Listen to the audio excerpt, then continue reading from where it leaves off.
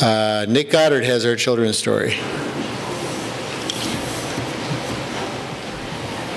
Well, good morning, boys and girls. How is everyone today? Is everyone enjoying the cool weather? Yeah, it's fun to go outside and play in the snow, isn't it? Yeah. Well, you know, this time of the year is when everybody thinks about um, the Christmas and all of the things that go on with that. And so my mind got thinking about, you know, what is important about this time of year to some of the older? What's important? We celebrate Jesus' birthday. Celebrate Jesus' birthday. That is correct. And that is the most important part. But what else do we get this time of the year? Presents. We get presents, don't we? Yeah. And in the Bible, it tells us that the, uh, the King Herod had sent some special presents to with the wise men when they went out to find the baby Jesus. And that's where I'd like to go this morning is on presents and how special they are. When I was a young boy, and I was a little bit older than you guys, when my family decided that we weren't going to have any more Christmas, no more birthdays, no more presents, and it was, oh no, what are we going to do? We'll be different. But I found that we weren't any different. We were just normal, and it was a different way of living, that's for sure. But presents are something that is given to you because people love you. But I've noticed that over the time that sometimes when we get presents, some of them are big boxes, some of them are small boxes. And sometimes we want the bigger box because we think it's got a more special present in it than the smaller box. But that isn't normally the case. It is who is giving you that present is the most important part of that. And God says that we have to be cheerful givers and that we need to love everyone. And you know, love comes in big packages, love comes in small packages. You know, the bigger packages are like the older ones in our church who have raised their children and have watched everybody grow, and they love us so much. Amen. And they give us lots of joy. And the little packages are those new little babies that come into our church. And soon they grow up to be your size and your size and, your, and even my size. And we all have lots of good gifts to give. The Bible says that where there is a happy heart, Jesus is living in our heart. Amen. And when we're sad, doesn't mean that he's went away, but it means that we need to find him a little closer. So I just wanted to let you know that this time of the year, we need to have happy hearts no matter what size our gifts are. And as parents, we need to be able to explain that all gifts come from God. Amen. And Jesus said, or God sent his son Jesus, as you've already said, into this world to be like you and me. He started out small and he learned. He obeyed God, and eventually he went back to God. And that's what our life is going to be too. So today, as we celebrate this time of the year, and when your little brother gets a bigger package than yours, doesn't mean it's any more special. And when we get socks instead of toys, doesn't mean that that person that gives us socks doesn't love us any more than that person who gives us toys. They all love each and every one because you're very special. And God has sent His Son because He thinks you're so special. He sent His Son to live in our hearts so that we can live with God forever. Cheryl Thompson from Davenport has our special music.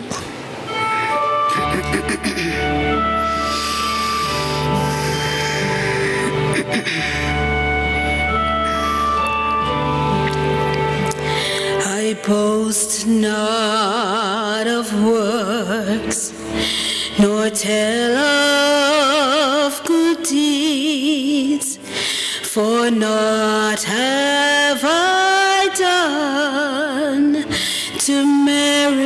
merit his grace, all glory and praise shall rest upon him, so willing to die in my place.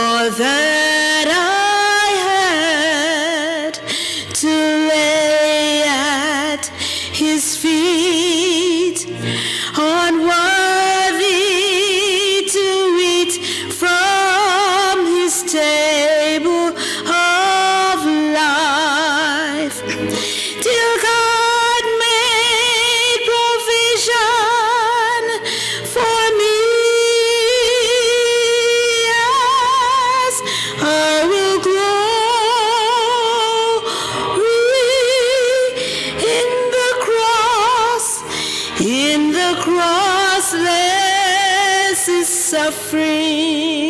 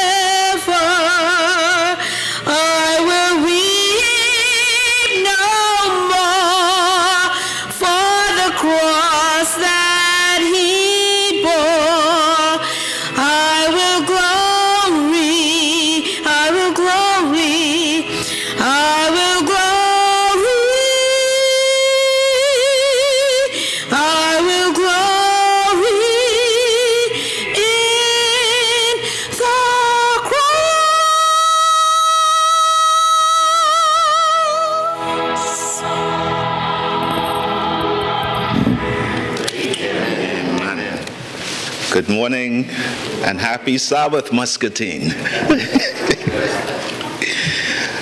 How many of you are delighted, excited, and just so appreciative of what Jesus did on the cross? Praise the Lord. Thank you, babes. That's my pet name. But you know, at the very outset, I should just like to express my gratitude and thanks initially to Pastor, our wonderful pastor, Pastor Cabrera, and to the leadership and members of the Muscatine Church for allowing me the privilege of sharing Jesus with you today. You know, it's cold outside, isn't it? But there's sunshine in our souls. Praise the Lord. I see at least one familiar face back there that I see often at the Davenport Church. And interestingly enough, talking about the cold, I'm just convinced that the Lord is on a mission. You see, He's brought us from the Bahamas, that's where we're from originally. Moved us on to Florida, where we lived for a few years. And now we're here in beautiful Iowa. Last week, Sunday, when the snow came, it was the first time that my children had ever seen snow. So early in the morning, they woke us up, Dad, it's, it's snowing outside. so they went out tumbling and doing their thing. But I'm just so excited about what it is that the Lord will do next. He's always up to some good stuff, isn't he? For the next few moments, I should like to speak with you and just to remind you of some things because these are things that I'm absolutely certain that you're already familiar with. So I should just like to speak on the topic God's fitness plan. God's fitness plan.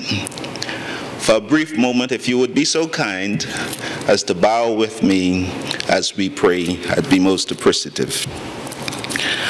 Father in heaven, thank you for your love.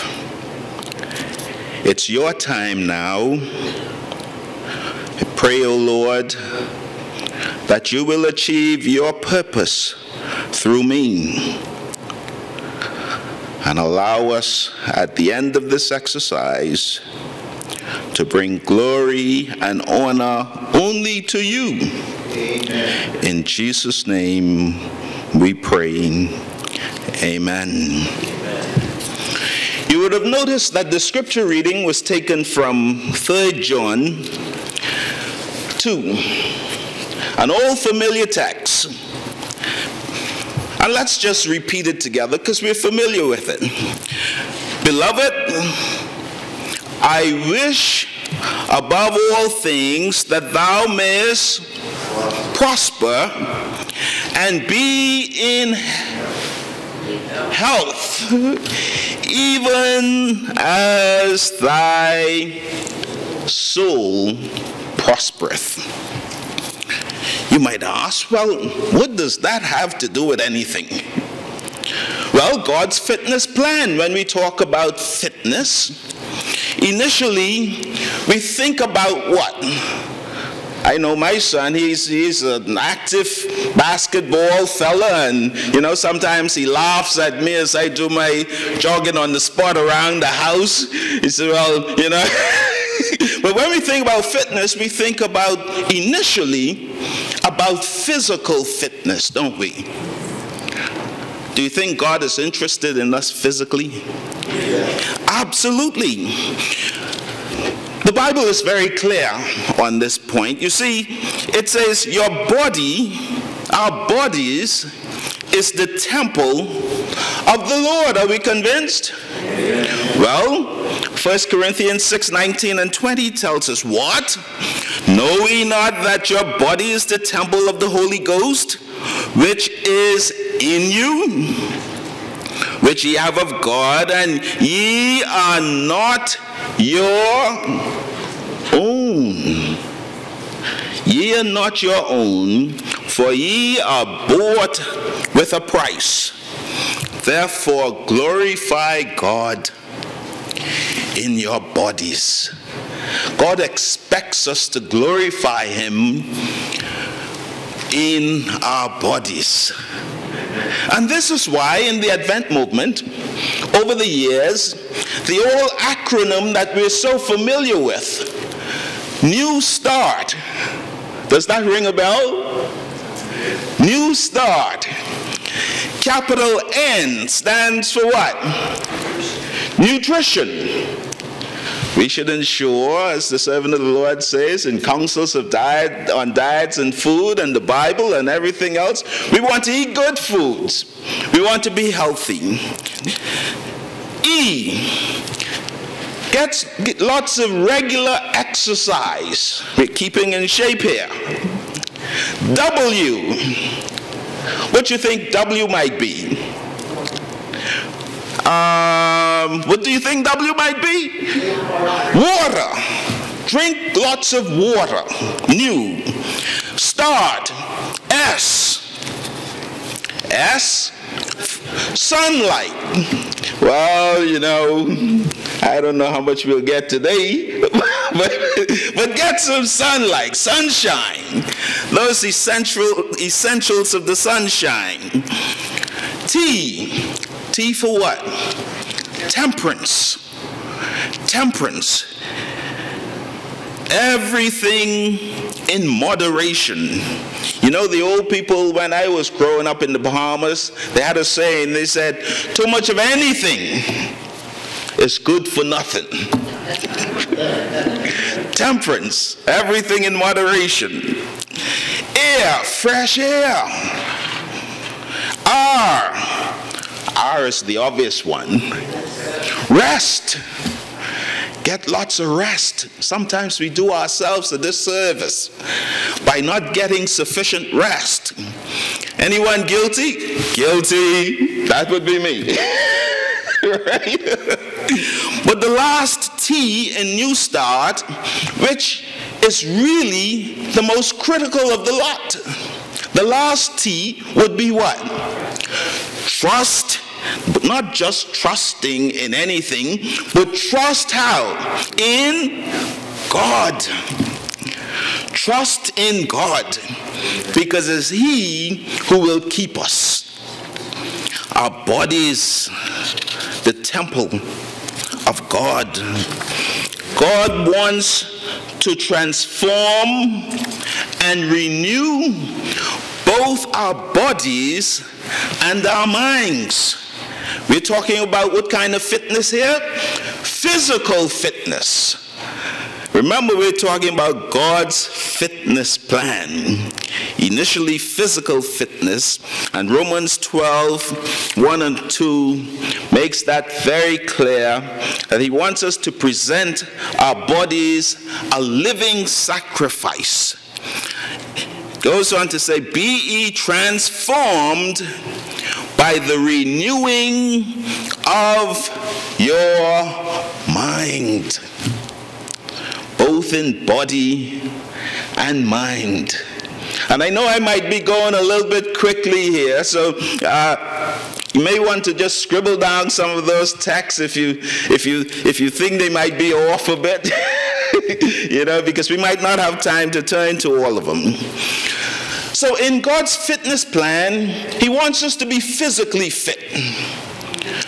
But He also wants us and is desirous of us being financially fit. Is that a surprise? God wants us to be financially fit in the very same text, which is our scripture, he says, Beloved, I wish above all things that thou mayest prosper. Now, when we think about prosperity, and of course, prosperity occurs in many spheres, but initially, that which comes to mind is when we think about prosperity, we probably think about being financially fit. Well, that's what I thought about, right? Now, how does he want us to be financially fit? He gave us a very clear formula. Malachi 3 6 to 12 makes the point very clear. He says, faithfulness in tithe and offering comes with a promise. Is that a text that anybody is familiar with? Malachi 3 6 to 12? Anytime the offering is being done, generally, so that's the text, isn't it? But here's how it begins in verse 6 For I am the Lord. And what does it say? I change not. So this hasn't changed at all. I change not. It goes down on in verse 7 to the end says, Return unto me, and I will do what? Return unto you, said the Lord of hosts. But then the question is asked Wherein shall we return? Will a man rob God? Yet ye have robbed me. But he said, Wherein have I robbed thee? And he says, In what? Tithe and offerings. Ye are cursed with a curse. Why? Because ye have robbed me. Bringing all the tithes into the storehouse. And where's the storehouse? Where's God's storehouse? His church. Right? And why should we do so? So that there will be meat. I've often said to people that God's financial plan is a master plan. If we were to follow God's financial plan of systematic benevolence, the church would never have need for anything. Amen. God's house will be so filled and running over. We will be asking, what should we do with the resources He has given us? We don't need to have a fundraiser for this, a fundraiser for that. Just revert to God's financial plan of systematic benevolence. And we'll be just all right. I know that these points of fitness each could be a sermon unto itself. So I'm just skim cross very quickly, you know. But the promise, he says, and prove me. Prove me herewith, said the Lord of hosts. And what has he promised? What is the very clear promise in verse 10? If I, God, will not open the windows of heaven and do what? Pour you out a blessing that there shall not be room enough to receive it. You ever wondered why he said windows and not doors? Well, most homes, most buildings seem to have more windows than doors. And I think much more can get through the windows than through the couple doors. Right? So if the windows of heaven are open and he's pouring out a blessing, so much so that we won't have room enough to receive it. Not only that, he says, and I will rebuke the devourer for your sakes and he shall not destroy the fruits of your ground. I know in Iowa, in the heartland, we're somewhat of a farming community. Imagine that everybody around their corn and grain and the rest of it is being destroyed, but not yours. He says, I will keep the devourer at bay. I will save you that money that you would otherwise lose. I would keep you healthy rather than giving it to the doctors. I praise the Lord that at least for the last little while since we've been here, nobody has been sick. Praise the Lord. Because I tell you, if one of us got sick, I don't know what would happen.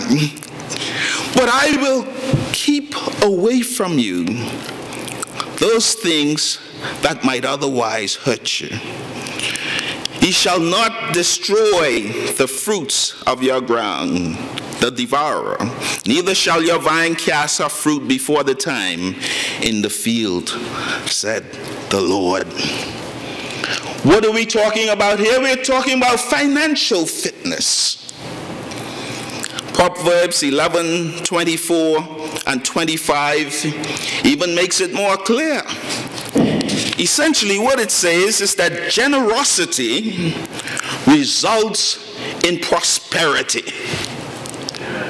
These are not my words. Generosity results in prosperity. Verse 25 The generous man will, did it say might? The generous man will be prosperous, and he who waters will himself be watered. That's the Bible now, Proverbs 24 and 25. So we're talking here about God's fitness plan. And we're talking even the more about financial fitness. Praise the Lord. I don't know if you're familiar with that hymn. It says, My Father is rich in houses and land. He holdeth the wealth of the world in his hand. I'm a child of the King. I'm a child of the King with Jesus, my Savior. I'm a child of the King. So even in the worst situation, without resources, we can be assured that Jesus, with Jesus our Savior, I'm a child of the King, so he'll take care of us. Amen? Amen. Not only does he want us to be physically fit, financially fit, but he also wants us then in the very same text the third thing he talks about there is what? He wants he, he talks about what? Even as thy soul prospereth. He wants us then to also be spiritually fit. Amen? How do we be spiritually fit? Matthew 6 and 33 tells us very clearly. He says, But seek ye when? First the kingdom of God and whose righteousness? His righteousness, and all these things will be added to you. Acts 16 31. How are we going to be spiritually fit?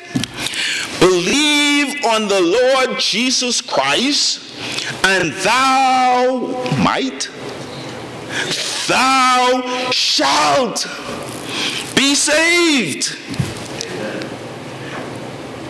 This is a promise, a very clear promise.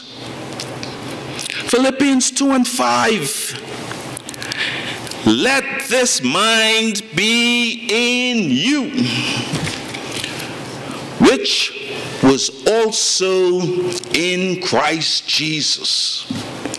This is how we get spiritually fit. You know, there's a preacher with whom I grew up. His name is L.V. Macmillan. You may not be familiar with him, but he was the president of the Bahamas Conference for some years. Later on, he went to serve in the Inter America Division. But Elder Mac shared with me a very simple formula for spiritual fitness.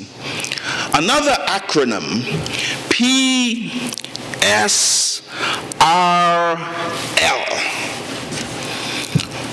P, prayer. Prayer. Talk with God often as to a friend. Communicate regularly with Him.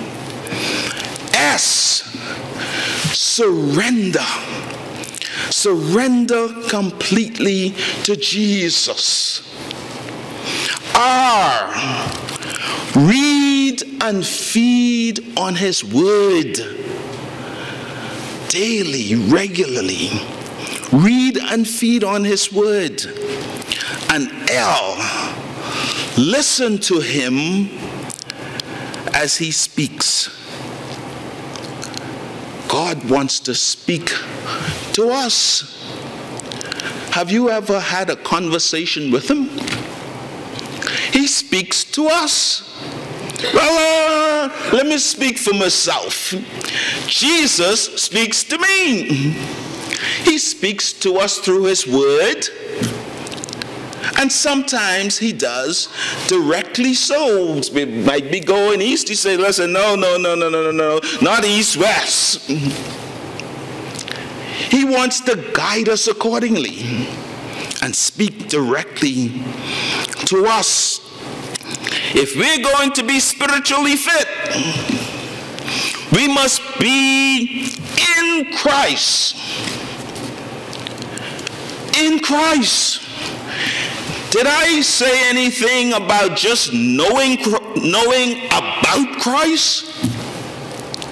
We must know Jesus and be in Christ. First John 4 and 15. How do we get in Christ? First John 4 and 15 makes it very clear. He says, Whoever no restrictions. This is for anybody. That's how the text begins. It says, Whoever confesses that Jesus is the Son of God, what happens? God abides in him and he in God. Whoever confesses that Jesus is the Son of God, God abides in him and he in God. That's how we get in Christ. So not only does he want us to be physically fit, he also wants us to be, because we're talking about God's fitness plan here now. So, what was the first one? He wants us to be how? physically fit. Secondly, he wants us to be what? Financially fit. It's okay. I know we're in a Seventh day Adventist church. It's okay. We can talk about money. That's all right. Right? It's the, the, the, the Bible says, for the love of money. It didn't say money was evil. It says the love of money is the root of all evil. The same Bible says money answereth all things. right? So, really, I don't know about you, but I can tell you for me, if I had some money, it probably answers 70% of my prayer. Is that shocking? Well, I can prove it to you. Let's talk after. right? But the second was financially fit. So the third point of fitness was what? He wants us to be, and the most important, spiritually spiritually fit. But praise the Lord, it doesn't end there. God doesn't just leave it all to us. He fits us up. He then now fits us up for eternity. He wants us to be fit to the point where we have the benefit life everlasting with Him. How does this fitness for eternity work? Ephesians 2 8 and 9 makes it very clear. God gives us His gift of salvation. We are saved. How are we saved? By grace through faith. Verse 8 starts off by saying, and let's just look at it quickly Ephesians 2, verses 8 and 9.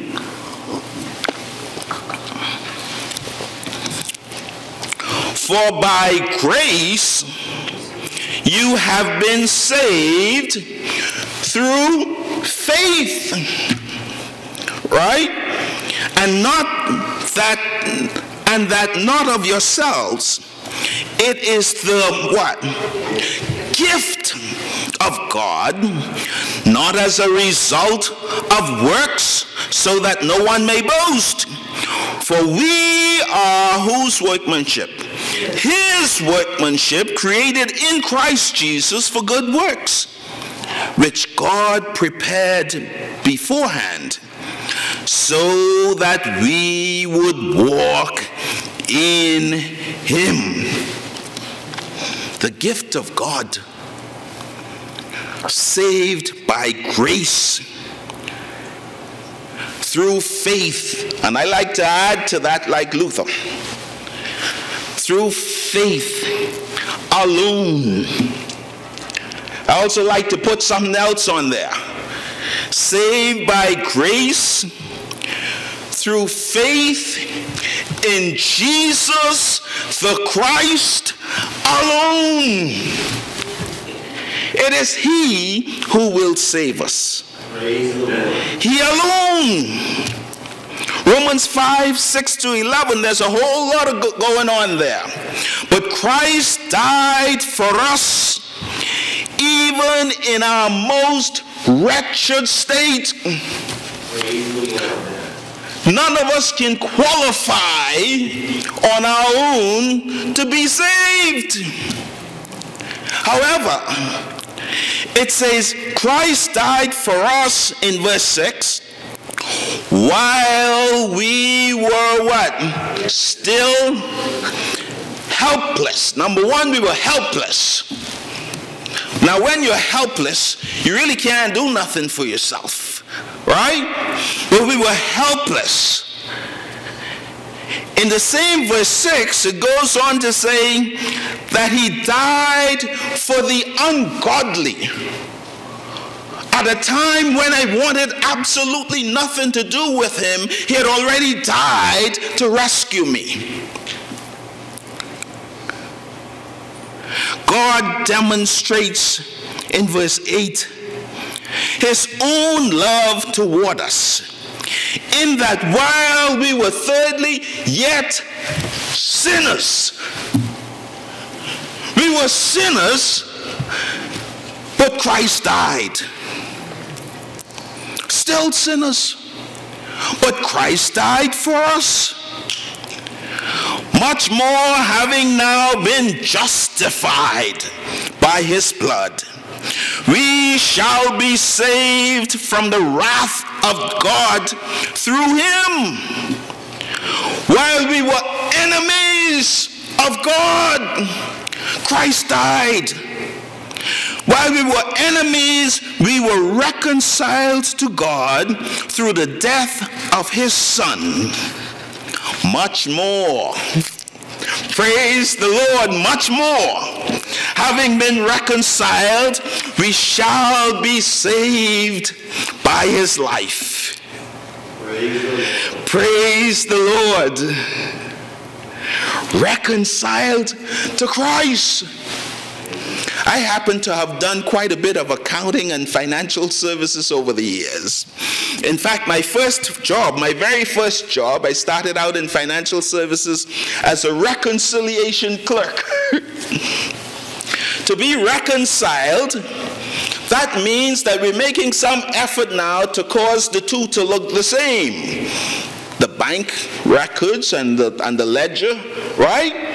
When we're reconciled to Christ, Jesus, then, because he's always drawing and pulling us, right?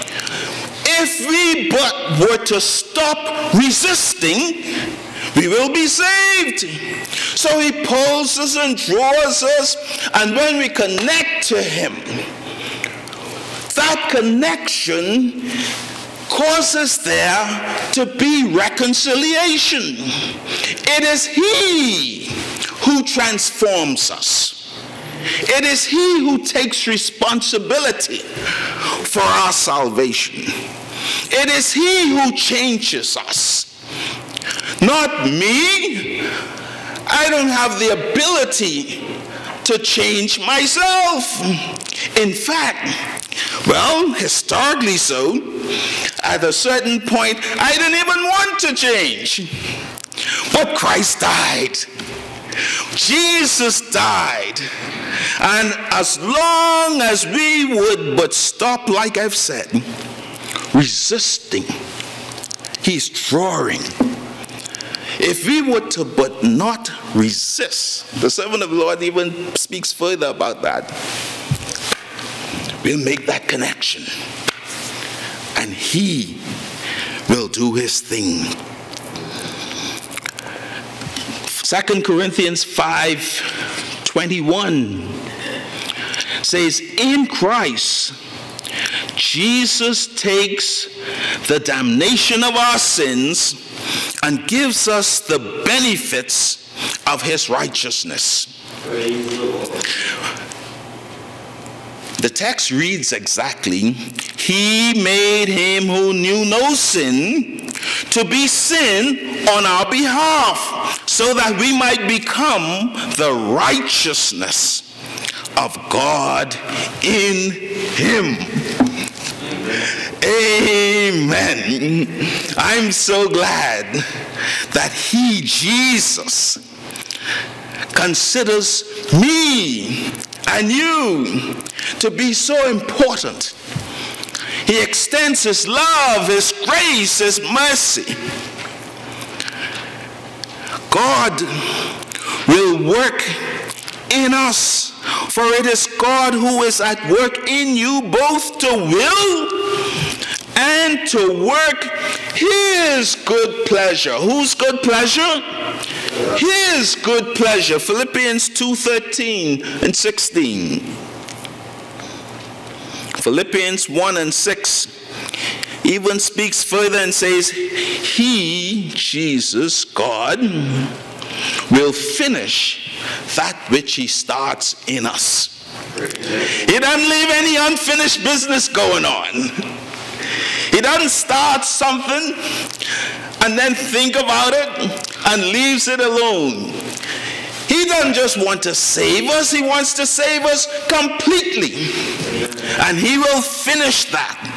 For I'm confident of this very thing that He who began a good work in me will perfect it until the day of Christ Jesus. Amen? You see, Romans 8 1 to 3. A wonderful text indeed. It says, Therefore, oh, I love this part. Therefore, please turn there with me. Romans 8 1 to 3. Therefore, there is now no condemnation for those who are in Christ Jesus. Don't let nobody tell you about what you've done and where you've been. The question is, are you in Christ Jesus? In Christ Jesus, there is now, therefore, no condemnation. Right? Praise the Lord. We're no longer condemned. Jesus came to save us. John 3 16 and 17, that old familiar text that we know only too well. Let's just repeat it.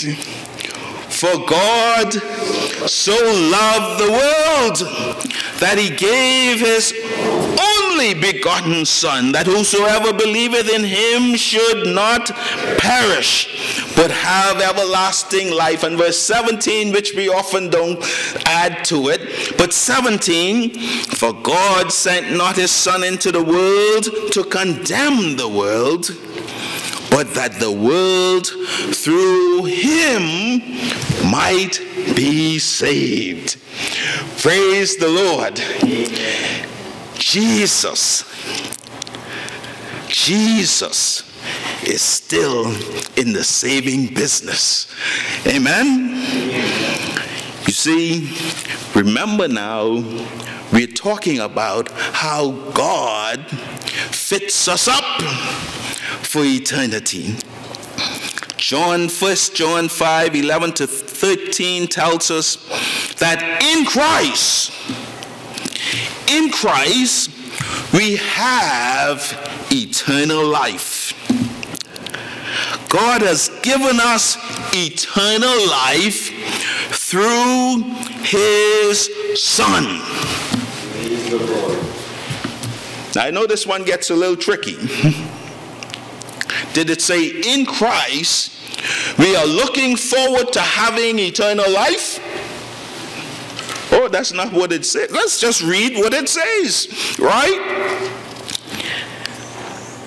What does the text say? 1 John 5 11 and 13. I don't, you know, let me let you read it for yourselves, right? And this is the record that God had given to us eternal life, and this life is where? In His Son Jesus. In Jesus, we have eternal life. He that had the Son had life, and he that had not the Son of God had not life. These things have I written unto you that believe on the name of the Son of God, that he may know that he have eternal life, and that ye may believe on the name of the Son of God. Praise the Lord. The only question that has to be asked then is Do you have Jesus? Well, in Him we have the benefit of eternal life. This is why it's so important for us to remain always in Christ. In Christ. You see, because of the death of Jesus and his saving grace. I say, because of the death of Jesus and his saving grace, because Jesus' only purpose is to save. That's why God sent him to save. His major, the only thing he's concerned about is saving mankind. Right? Because of his death, praise the Lord, I can say very clearly then, as you can, that I've been justified. How do I know? Romans 5 and 9. I was reconciled with God. How do I know? Romans 5 and 10. God has demonstrated his love toward me. Romans 5 and 8 and John 3 and 16. I was crucified with Christ. Romans 6 5 to 7. But it doesn't stop there. He became sin. Jesus now became sin for me and died as me. 2 Corinthians 5 and 14. That which I deserved, he took and gave me and you that which he deserved. Romans 6 and 23 is very clear. It says, For the wages of sin is what? Death. Is there anybody here who has sinned? Well, I'm probably in the wrong church. Is there anybody here who has ever sinned? Well, Praise the Lord. That's why Jesus came for us, sinners. Right? But the pay for sin is death. But instead of giving us death, praise the Lord, the, the text doesn't stop there. It says, but, but, but the gift of God, the gift of God is life eternal rather than me getting what I deserved, death, in Christ now, I'm able to have his benefit of life eternal, all paid for in full at Calvary. Thank you, Lord, for Calvary. But because of the death of Jesus and his saving grace, not only has he become sin for me, but I have been released completely from my sins. You have been released completely from your sins according to Revelation 1 and 5, there is no second death in my future.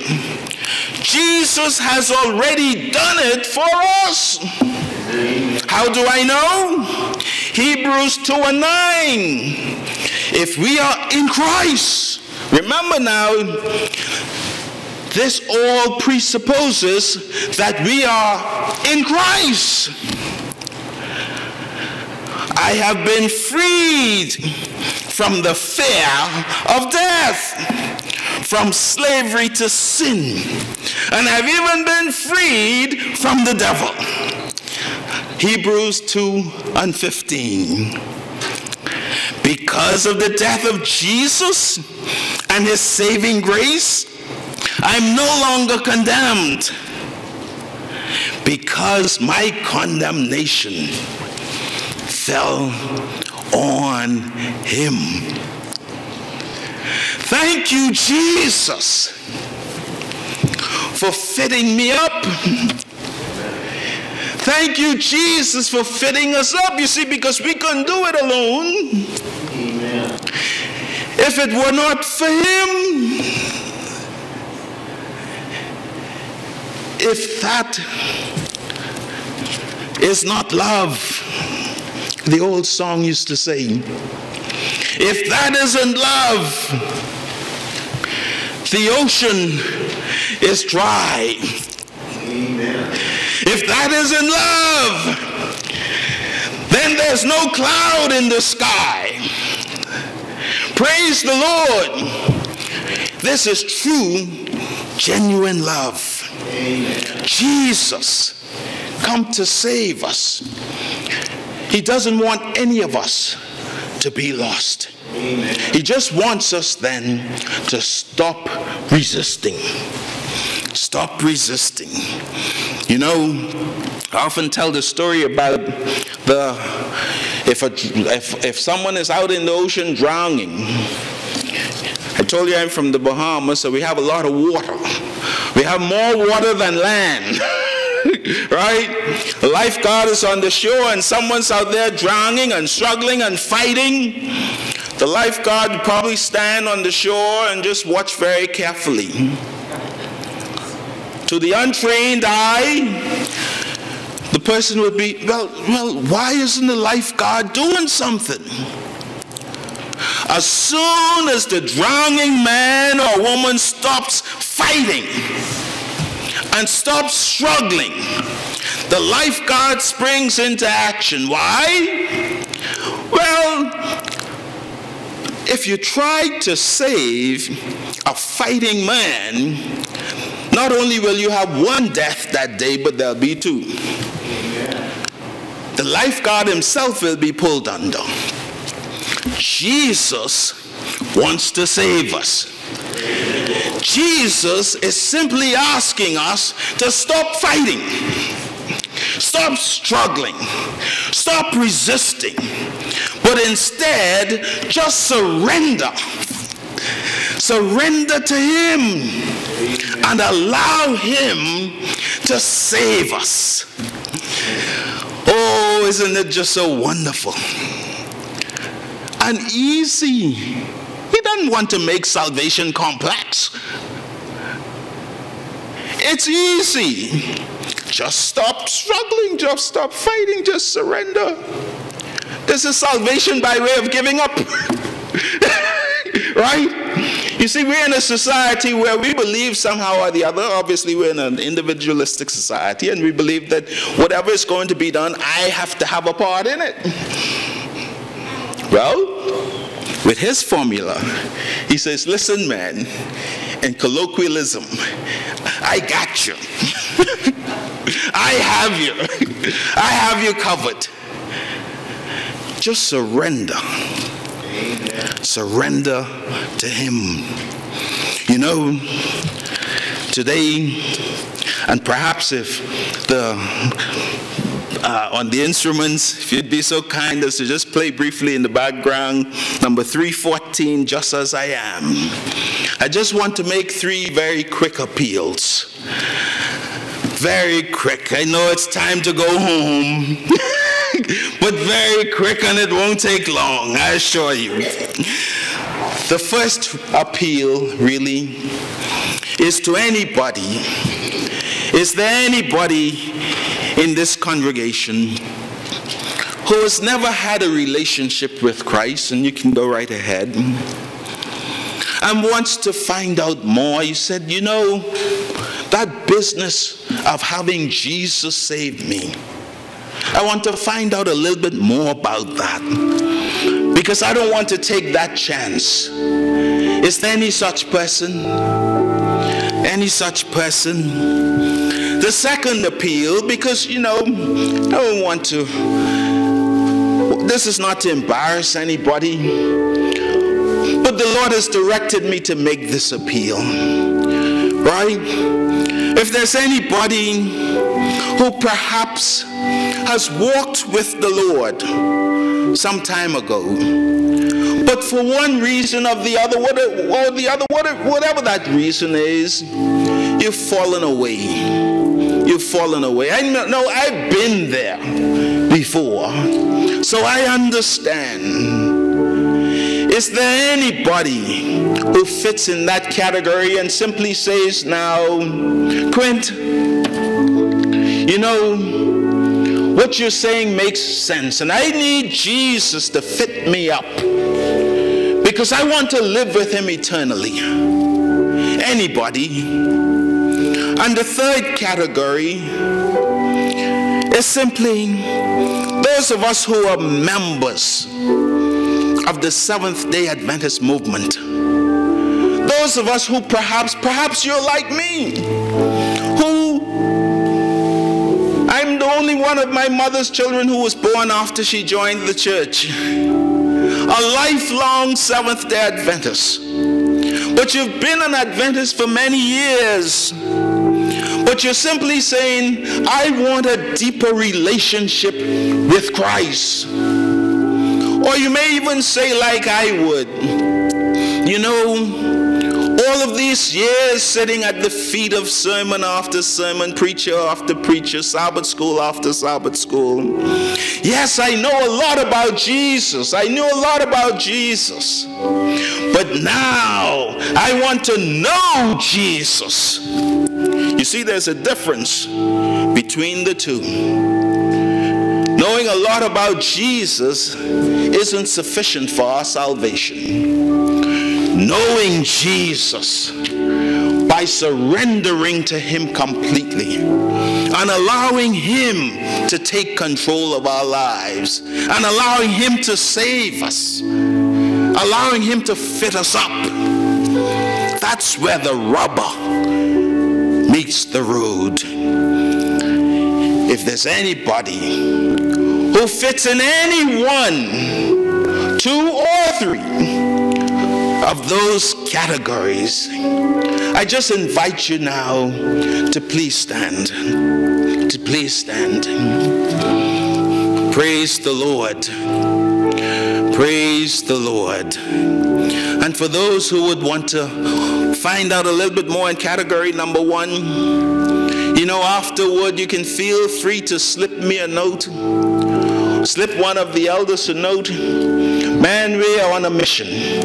We don't want anybody to be lost because Jesus doesn't want us to be lost. Thank you, God, for all that you've done. Thank you for surrendering completely anew to Him